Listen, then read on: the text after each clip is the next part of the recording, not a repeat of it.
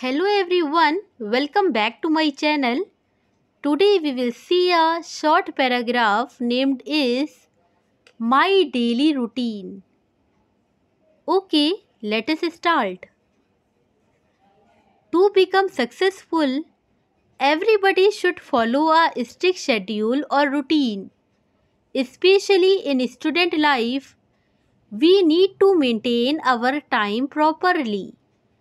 If we fail to maintain time, then we can't make a good result in the examination. Today I am going to share my daily routine and my experience here.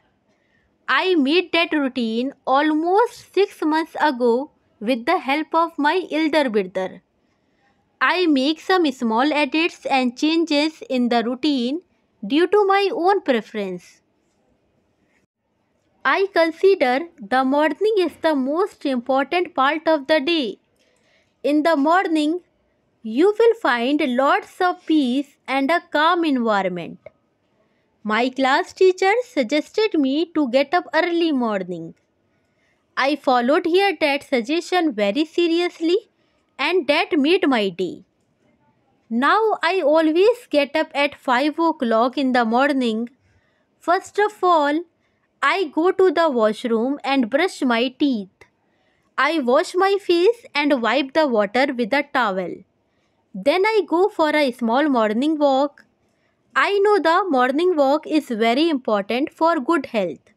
Sometimes I do exercise too. Most of the time I walk almost 30 minutes and the doctor said that's enough for me. This little workout keeps me strong for the rest of the day. I come back to home after the walk and get fresh again. I eat my breakfast then. After eating breakfast, I study math and science in the morning time. I think morning is the best time for study. School time. I go to school at 9:30 o'clock in the morning. My father drops me here with his car. I get a break at 1 o'clock after 4 classes in a row. And finally, I go home at 4 pm with my mom. She comes to pick me up from school every day. Because it takes almost 20 minutes to go home from school by car. I enjoy school time very much. Eat and sleep routine. I eat my breakfast and then I eat my lunch in the school break time. I take my lunch with me. My mother is very aware of my food. She always cooks something interesting to me. I love eating pizza and burger. But she doesn't buy me that kind of fast food. She prefers to cook them for me. I love her cooked pizza very much.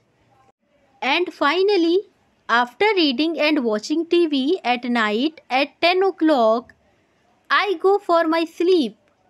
When I go to bed, I think about my entire day.